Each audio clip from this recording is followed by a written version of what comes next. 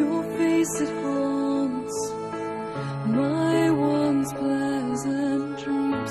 Your voice it chased away all the sanity in me. These wounds won't seem to heal this pain.